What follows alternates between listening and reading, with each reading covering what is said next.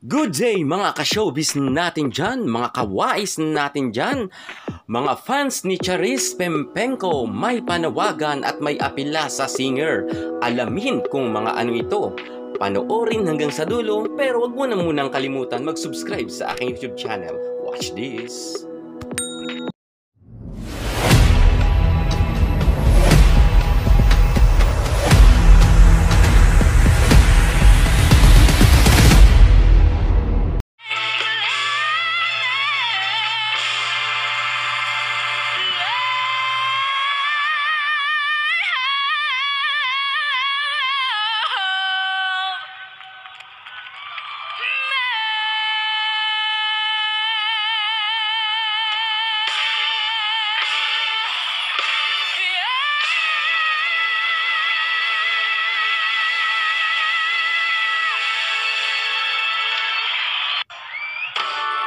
Mga fans ni Charis Pempenko may panawagan sa kanya.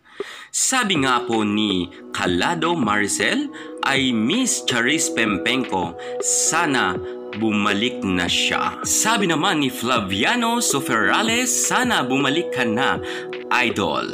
Ayon naman kay House of Bay, ako talaga gusto ko tong si Charis. Kahit noon bata pa siya, nagsisimula pa lang, minsan ay nagkakamali pero gustong bumangon. Hanga ako sa ganyan, lumalaban sa hamon ng buhay. Mabuhay ka, Charis. Panawagan naman ni Vel Mercado, kalimutan na iyang pagiging Jake.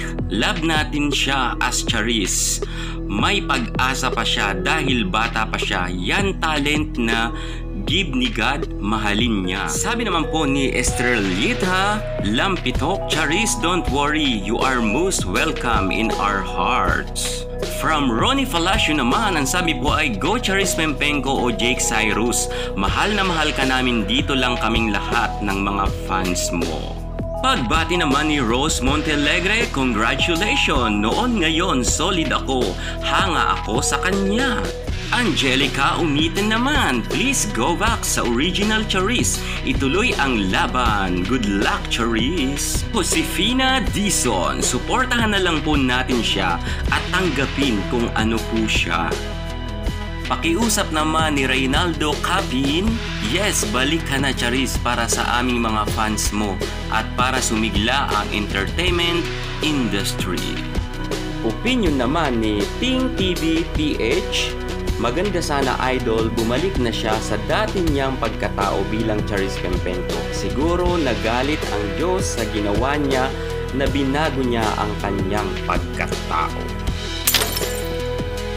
Yan po mga ka-showbiz, nabasa niyo po at napakinggan ang mga hinaing po at mga panawagan ng mga fans po ni Charis Pempenko mga ka-showbiz natin dyan na sana ay tuluyan na ang kanyang pagbabalik at wag nang bumalik sa pagka Jake Cyrus. Yan po mga ka-showbiz muna ang pinaka-update po natin kay Charis Pempenko.